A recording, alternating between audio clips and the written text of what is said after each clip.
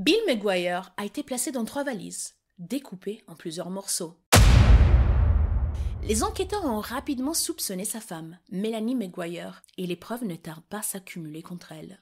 Elle est condamnée à la prison à la perpétuité, avec une libération conditionnelle possible, à l'âge de 100 ans. Mais maintenant, une question plane sur cette affaire. Est-elle la seule responsable de cet acte barbare Ou bien y avait-il un complice dans l'ombre? Quelque chose ne colle pas. Il y a des éléments qui ne concordent pas, des doutes qui surgissent. Qui est réellement responsable de ce meurtre brutal? Les réponses pourraient bien vous surprendre, car rien n'est aussi simple qu'il n'y paraît.